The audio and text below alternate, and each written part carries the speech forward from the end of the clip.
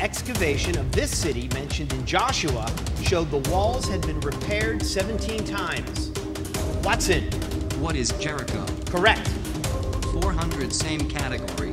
This mystery author and her archaeologist hubby dug in hopes of finding the lost Syrian city of Urkesh. Watson, Who is Agatha Christie? correct. Same category 600. At the Olduvai Gorge in 1959, Watson, What is Permi? correct. Taking you to 4400 and taking us to our first break. We hope you enjoyed it. I certainly did. We'll be right back after this.